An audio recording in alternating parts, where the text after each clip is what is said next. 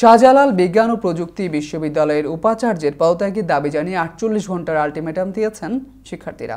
গতকাল গভীর রাতে ভিসির বাসভবন ঘেরাও কর্মসূচি থেকে এ ঘোষণা দিয়ে হলে ফিরে যান শিক্ষার্থীরা। দাবি আদায় রাষ্ট্রপতি বরাবর স্মারকলিপি প্রদানসহ আরও কর্মসূচি ঘোষণার কথাও জানিয়েছে আন্দোলনকারীরা। এদিকে সংঘর্ষে আহত শিক্ষার্থীদের চিকিৎসা ব্যয় বহনের কথা জানিয়েছে বিশ্ববিদ্যালয় প্রশাসন।